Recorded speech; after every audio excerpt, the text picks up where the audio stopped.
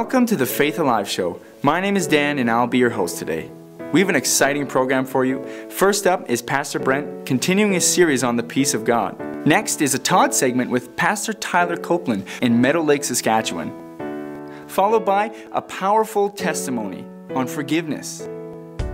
Next is a worship music video. And I'll be back with you at the end of the show. Whoever desires to love life and see good, good days, quoting Psalm 34 again, let him keep his tongue from what? Evil, and his lips from speaking deceit. Let him turn away from evil and do good. Let him seek peace and pursue it. See, now Peter is quoting it now, right? For the eyes of the Lord are on the what? Righteous. Who are those? Those are the people who seek peace and pursue it. Not everybody gets their prayers answers, answered. His ears are open to their prayer, but the face of the Lord is against those who do evil. Well, we have to remember that, don't we? Say, pursue peace. Um, Romans 12, verse 17. Listen to this, you guys. This is the last thing. It says here, do not repay anyone evil for evil. Say, do not. Instead, what are you supposed to do? When somebody does you wrong, what are you supposed to do? Just tell me. Who can tell me? Well, we talked about love before Christmas. Who can remember what love does? It says love doesn't even keep a record of a wrong suffered. In fact, love doesn't even know when it even gets wronged. That's real. That's the fullness of love. Real love is a person, someone could do something to you, you wouldn't even notice it. That's real love. How many of you are there yet? How many people do the opposite? They fuss and fight and tell everybody about the evil done to them. But it says, do not pay back evil for evil. That's what most of us want to do. Instead, we're supposed to what? Extend grace to that person. Say, extend grace. But you can't extend grace when you ain't got no grace. Before you extend grace, you got to go back and get some grace. That means you have to look at yourself and realize the grace that's been given you. And then, oh, when your eyes are open and your heart's been revealed, you can say, Oh my gosh, Lord, you know what? Who am I to criticize another person? Who am I to attack another one of your servants, your children who live and stand by you, and you can make them stand? Who am I to do that? You know what I'll do? I'll extend grace to them instead. I will forgive them. I will release that thing. I will let it go. Come on, isn't that right? I will not play the payback game. I will not tell everybody how bad you are to everyone else. I will not try and knock you down in the presence of someone else. I will not try to lift myself up at your expense. I will not try to attack you. I will try and build you up. Come on. These are all decisions we have to make on a daily basis. These are not things you can do. They're not just automatic. That's why you have to pursue peace. You have to work for it. You have to look after it. You have to look after this thing called peace. When you even think it's going to be taken away, you must fight to keep it. Because it can go very fast. Say, very fast. Try to do what is honorable in everyone's eyes. Do the honorable thing, if possible. Love this scripture. Say, if possible. On your part, live at peace with everyone. Man, I got to like that scripture. Say, if possible. On your part. That means on your part, after you've gone and done everything you can do to try and make peace or promote peace, If it's possible and you can do it, then do it.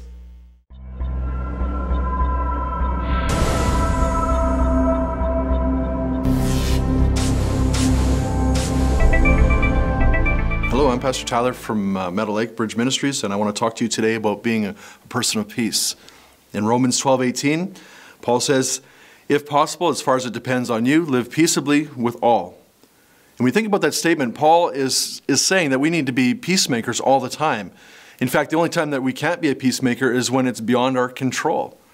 So he's saying that we must make a conscious decision to be a peacemaker, to be someone who can bring peace or create peace or walk in peace. And at the beginning of the chapter, Paul gives us some attitudes that we need to adopt in order to be peacemakers in every situation.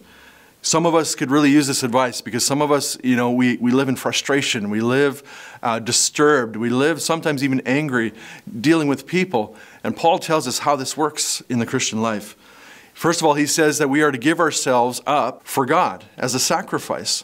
And when he talks about this, he's painting a very stark picture. They would have known exactly what he was talking about. They would have visualized the altar, the animal, the sacrifice. He says, Give yourself up as a sacrifice to God. And then, secondly, he says that you're supposed to consider other people more important than yourself. It's pretty tough to be contentious and angry and frustrated with people when you actually care about how they're feeling more than you care about how you're feeling. So, firstly, you have, to be a person of peace, you have to give yourself up to God. And then, secondly, you have to consider others more important than yourself. And Paul gives us a few hints on how this works because, in theory, it sounds good, but in reality, it's pretty hard to be a person of peace. He tells us that even in his life, it was the grace of God that he could even talk this way. Because we know that Paul was not a person of peace. We know that he was a person of frustration and, and anger. And uh, the Bible even says that he was breathing out threats towards the early church. So he was, a, he was even a violent person.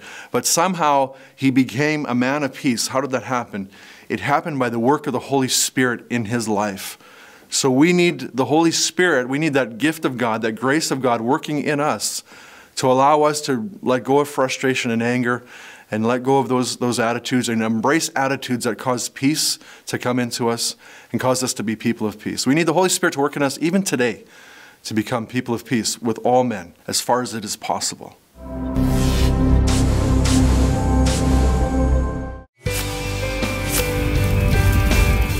At Faith Alive Bible College, we believe that everyone has the God given destiny to live. Our passion is to prepare you with the tools, knowledge, and experience needed to succeed in every area of life and ministry. Our curriculum will challenge you to be transformed by God and empower you through immersion in His Holy Spirit. Study on campus, by correspondence, or online. Faith Alive Bible College. Your destiny starts here.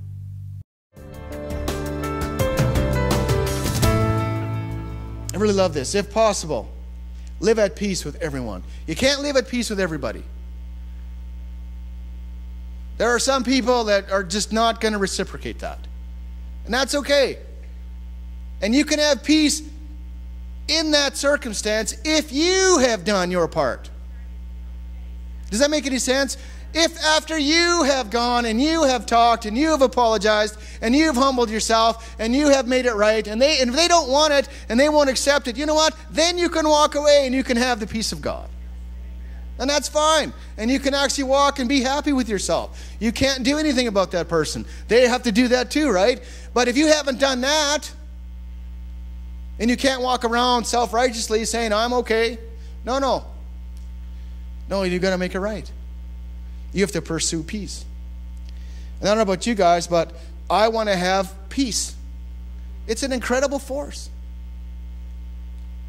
It's an incredible force. In fact, you can have so much peace, Jesus said, that you could enter someone's house and bring your peace with them. And if they don't accept you, he said, if you go into a town and you bring your peace and they don't accept you, take your peace and leave. You don't give them a peace, you take your peace and leave. We actually have the power to give peace to people. You could speak peace in your family. You have the power to speak it in your family's lives, in your house over people. We've done it lots. People are agitated, they're crying. Peace. Peace is a force to be reckoned with. Jesus is the Prince of Peace. There's a lot of scriptures about peace. Not getting into them. There's so many.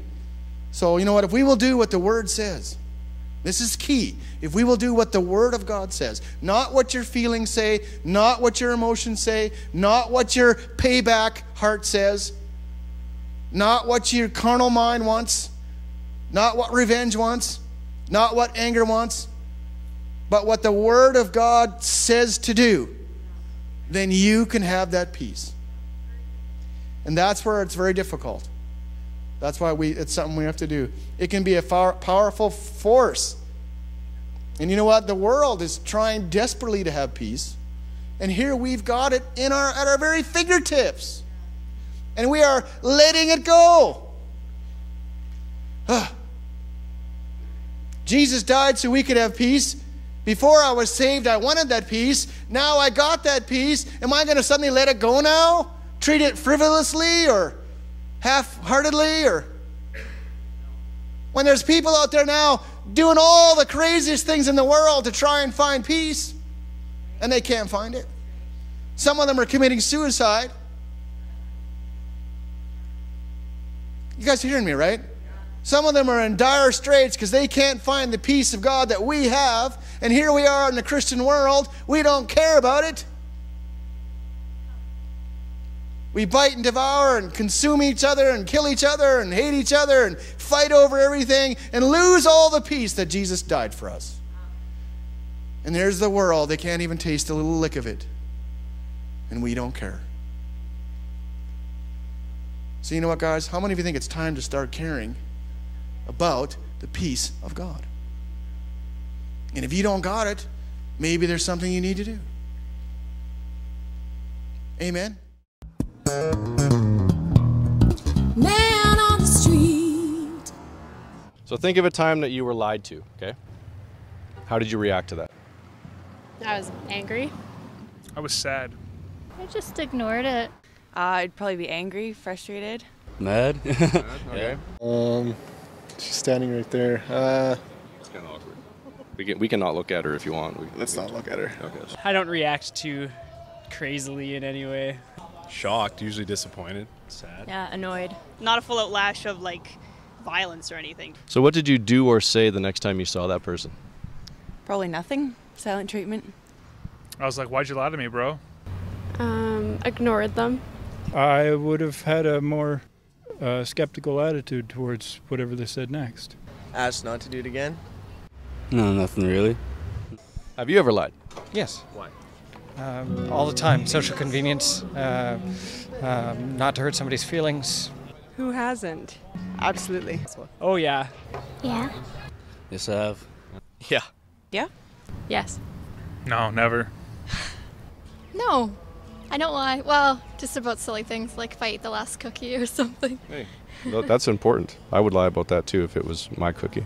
Yeah, I have before. Have you ever lied to anyone sitting on this bench? No, I have not. Have you ever lied Yeah. Yeah. to anybody sitting on this bench? Yes. Yeah.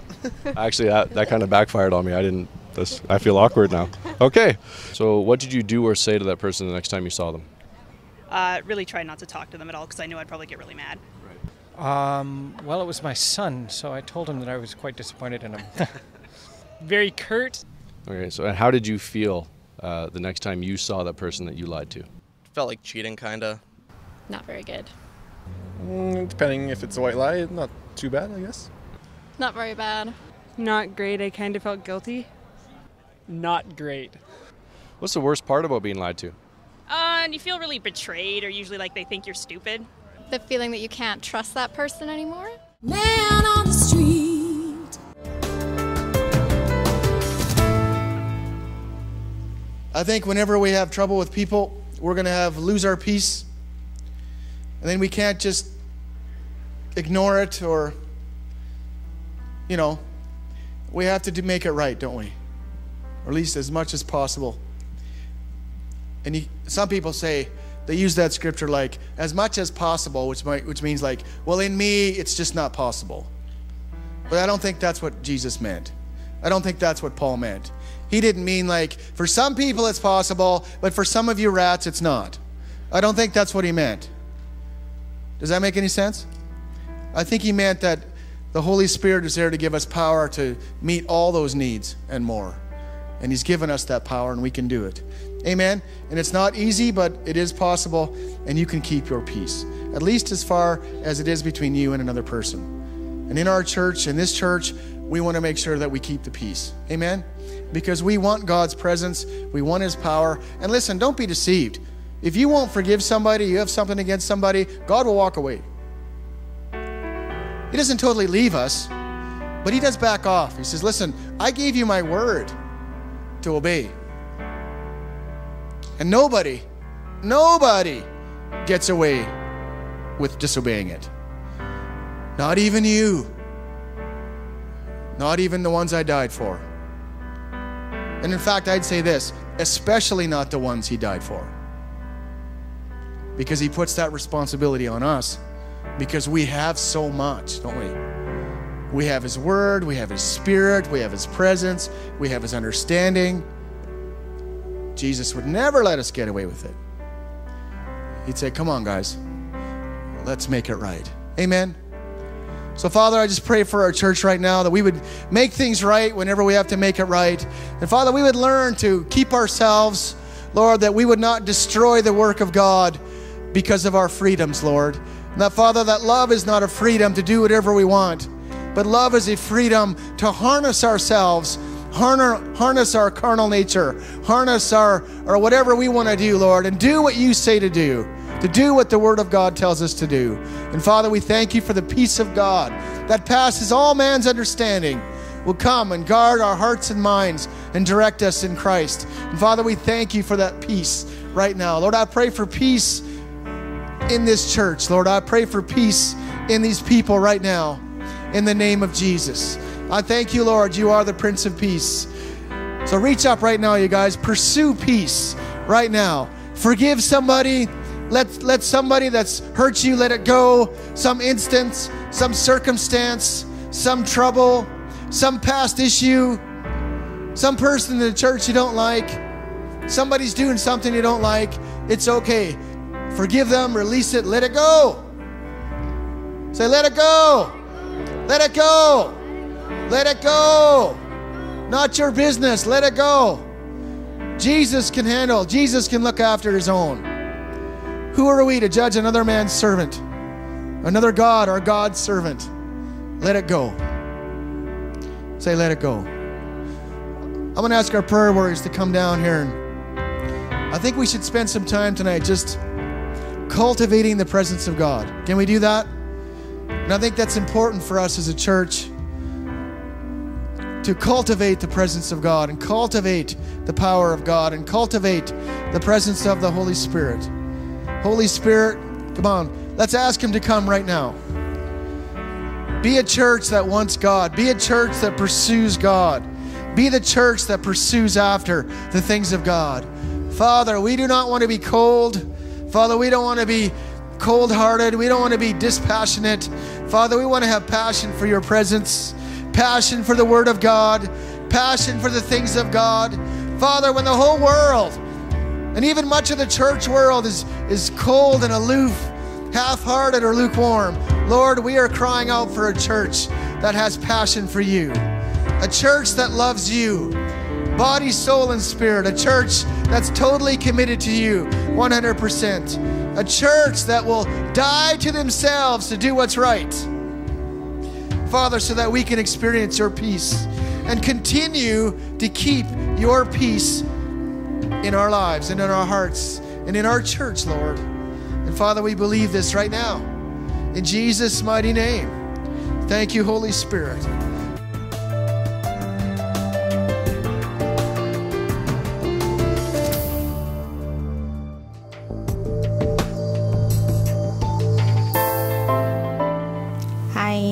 Is Glory. I'm here to share my testimony how God has helped me to forgive. I was born and raised up as a Muslim. We attend a Quran session. We learn how learn how to read the Quran. But I was growing up as a teenager. I met this Christian guy and I started dating him. But I knew that my parents they won't let me marry him because he was a Christian. Then uh, we find we went around looking for my daddy's friend. So they went and sit down with him, and my dad said, "No, I am Muslim. I have to marry Muslim." So we, after a while, my mother-in-law, she said that we are going to fast and pray and see who is true God. After a while, my dad ended up saying yes, but he's not coming inside the church. Then we had our wedding and we moved to Zambia. We were in Zambia for a while, and then my husband had opportunity to come to Canada at Faith Alive Bible College. Then after nine months, I came to Canada too. I remember the first two weeks after I came, Dr. Pierce called me and said, You want to come to uh, Pastor Babu's class? She's teaching about forgiveness. I said yes. And she was talking about how many suitcases we've carried in our lives and heaviness and all those things. So while she was talking, I was crying because that's the truth. That's why I was. I was bitter person, sensitive. I had so many suitcases in my life. And then at the end of class, she said, if anybody want prayers, I just fell on the floor and started crying even more. How can I forgive? People real hurt me. The more I came to church, the more I get prayer, the more I listen, the more I pray, the more I come to church. It didn't happen in one year, it took me a while. It's not what people did to me, it's how I react over everything, and I was so sensitive. God was working on my heart. Final, I forgive. Start forgiving one person at a time and I was a free person. Today I'm happy. I don't cry much anymore. Thank to God, I am free.